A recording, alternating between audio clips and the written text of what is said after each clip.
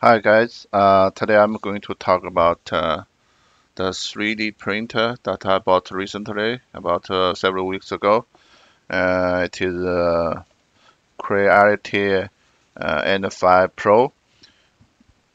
Uh, as you can see, it has a cubic stable structure, which uh, make uh, a very stable um, print bed because the bed only move up and down, not back and forth.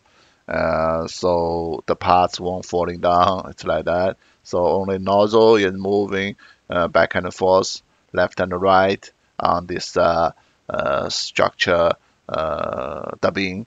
Okay, so it's uh, compared with other normal 3D printer. It's only it's all the bed have to move the back and forth. It's not very good. Um, yeah, overall, it's a I think it's a decent uh, um, budget uh, 3D printer. It costs about uh, only about uh, Canadian dollar 450 dollar. I bought from 3D Printer Canada, and uh, yeah, it's uh it's okay. Uh, after print several these um, printer project and man, definitely it uh, take a lot of time and uh, uh, usually uh, most of these printer usually I prefer to print a, a, a kind of uh, a big one and uh, it, it will take more than one day. Yeah but I, I mean kind of I get used to I just let it continuous print overnight and the also you can see a complicated one uh, need uh, support definitely. Uh, you can set up the, on the Cura slice. I use a tree structure support and um, infill for the tree just 5% and uh, uh, for the parts is 10%. It's just a kind of uh, save save the material. Uh, also because uh, you you don't need uh, for this supported infill then too too high because it's hard to get. Now I'm talk about the the issue. Um, the filament broken. Actually, my, my case is the filament is stuck inside the, the line, and uh, oh, it's very become very flat. Although the gear is moving, and uh, uh, still does move the filament inside. So uh, in in finally it's just a print air. Once I found out it's too late, it's just a pass. It's already just like uh, missing the, all, all the uh, whole head. Okay, so I think uh, because I don't want to waste one day for the throw away this parts, so I think uh, uh, I maybe have a solution. Uh, I think it's working. Um, first, I will uh, auto home it.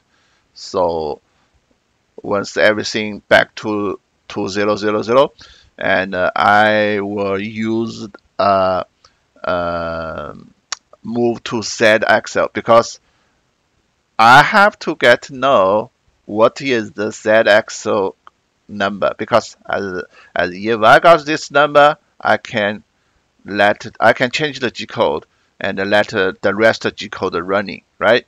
Does it make sense? Um, so as you can see right now, it's slowly uh, move up to the home base. So once it's moved, uh, then I will move down the Z axle and uh, let the nozzle reach to of course, you need also move to like X, Y, Z to reach to the edge, the last edge on this uh, unfinished parts. Okay, so roughly, I mean not roughly, I mean have to be uh, kind of uh, as accurate as possible because the, the, I mean you you have to be uh, very uh, goes to the 0.1 millimeter because uh, as you can see in the manual they have set up has a um, can move to, to fine tune the moving uh, axle so it's like a 10 millimeter or it's a 0.1 millimeter right? And uh, right now, as you can see, I try to move the Z axle, and uh, there's yeah, there's also 10, also one millimeter movement. So at the beginning, I use uh, uh move uh, 10 millimeter, 10 millimeter, and uh, until it's reached the pass, I start to change to uh, 0.1 millimeter. Now let's uh, look at the the G code. At as you can see at the right side, there's the original G code for this Panther Magic code. As you can see, on the left, I, I create a file called repair G code. as you can see in here, everything. I just copy the head and here. And uh, as you can see in this uh, breakpoint, I delete all this line because this line is just for normal like a nozzle. Uh, the the 3D printer going to uh, print a line. You know, its purpose is to clean up the the print nozzle. Uh, the, the reason uh, I have to delete it because uh, it, it, you this line it's moving it will definitely will be hitting my path okay? So I delete that one. And uh, also I add this line because I want to nozzle at least move to uh, above the, the parts because I use this Z Z 100 182.8 that's the edge of the the unfinished parts okay so but I need to move nozzle because once if you don't do that this line, it will definitely make a collision on that parts, okay? So I add this line at least bigger than this one. And uh, then the rest is uh, this line just copy like uh, found at the rest, uh, like say I do a search and in here and I do a search on and found uh, and found right and uh, current one. So, right, then click it, right?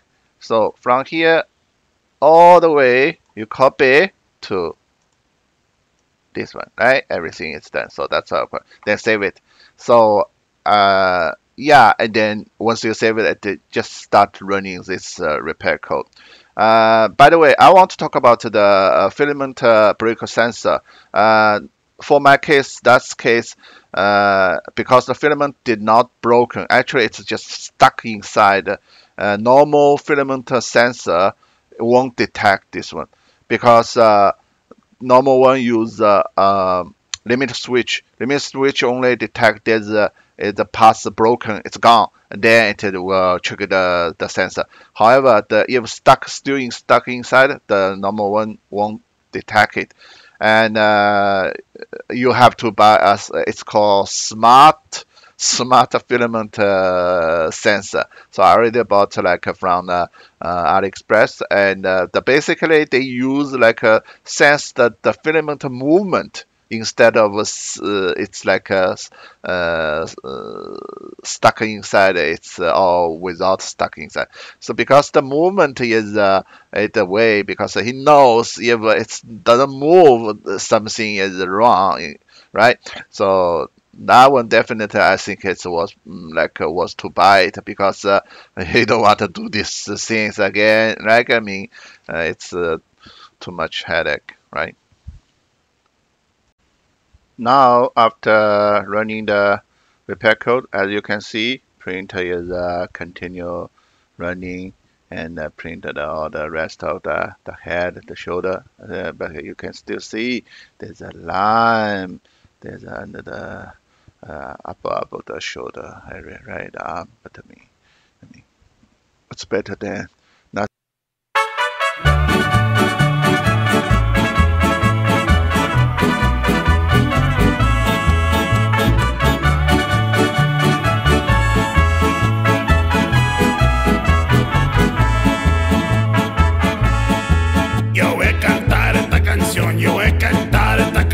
para mi gente.